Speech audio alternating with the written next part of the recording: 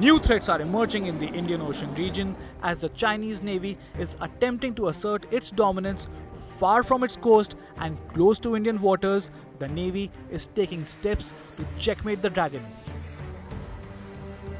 To shore up the defenses of our home waters, the Navy has gone into overdrive. The Navy is working on a missile based twin pronged strategy to deny operating room to enemy surface vessels at key choke points on India's western and eastern approaches.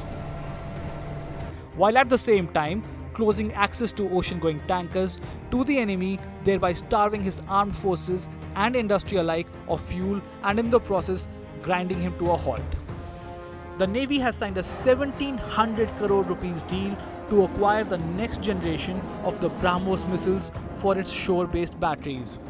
These batteries will be located at strategic locations and can hit enemy ships hundreds of kilometers out at sea.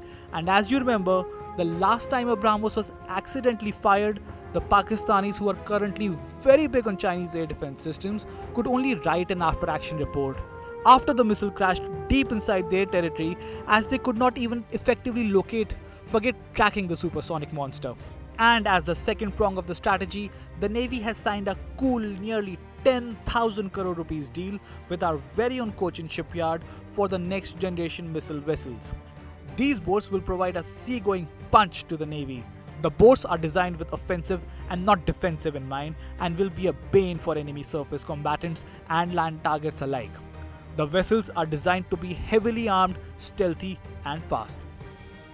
India has a very successful history of using these boats in anger, and boy, are these boats fire starters. In 1971, in perhaps one of the most daring naval actions after the Second World War, the Indian Navy's missile boats attacked Karachi, the home of the Pakistani Navy, twice and caused immense damage to Karachi's port facilities and sinking or damaging much more potent combat vessels such as destroyers, frigates, and a minesweeper.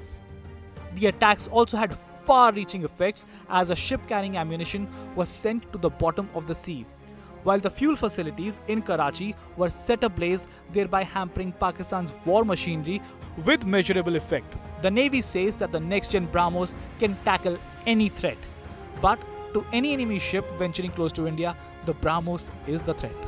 For more informative videos like this, keep watching India Today News Mo.